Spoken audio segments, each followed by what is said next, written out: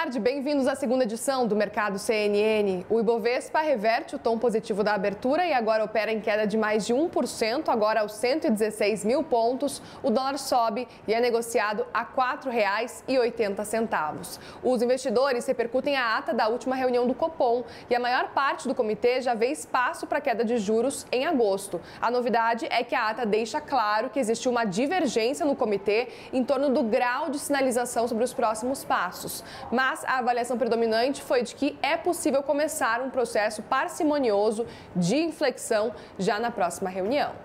E o ministro da Fazenda, Fernando Haddad, disse que a ata do Copom mostra que o governo está no caminho certo. Vamos ver? O item 19 da ata é o mais importante para nós nesse momento, né? Analisar direitinho como é que estão os humores, mas ah, penso que há um consenso né, eh, em relação à trajetória próxima né, da, das taxas de juros. Acho que ficou claro que, que, nós estamos no caminho certo e eu penso que a economia brasileira precisa, é, em, em, virtude da desaceleração do crédito no Brasil, né, que é muito acentuada, é, precisa considerar o esforço que está sendo feito pelo governo e as trajetórias né, das variáveis todas, que inclui é, desaceleração, as taxas de inflação, a convergência.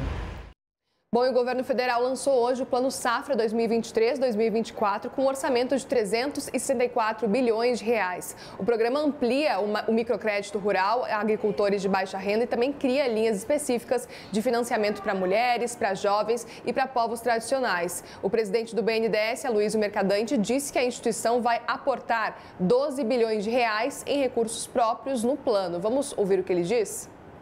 O agro brasileiro tem um papel fundamental 47% das exportações, 160 bilhões de dólares que esse setor exporta, e é um setor que tem uma responsabilidade decisiva de pelo menos um quarto da produção, do crescimento da economia hoje vem do campo, direto e indiretamente vem do campo brasileiro.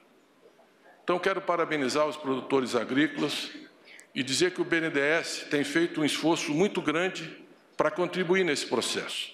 No ano passado, o BNDES participou, colocou 5 bi. Nós estamos colocando 12 bilhões de recurso próprio no Plano Safra desse ano.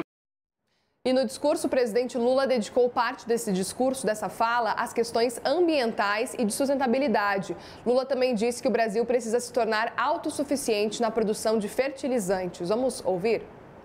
Aliás, Pacheco, nós vamos criar uma linha de financiamento para quem quiser cortar madeira para fazer móveis, plante a madeira.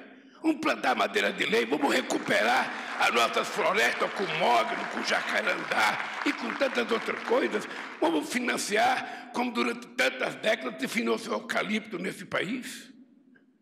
O que nós não podemos é ser predadores daquilo que é um bem que nós temos, que é um bem do filho de cada um, que é um, um bem do filho, do neto, do bisneto. Ou seja, nós temos a obrigação de fazer as coisas bem feitas, porque o mundo está de olho na gente. Um país que tem a riqueza agrícola do Brasil não poderia ser dependente de fertilizante de outro país.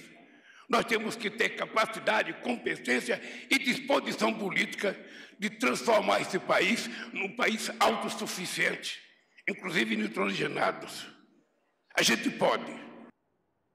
CNN Mercado vai ficando por aqui, mas eu volto às 2h55 da tarde com atualizações de hoje. Você fica agora com o grande debate com a Luciana Barreto. Uma boa tarde e até mais.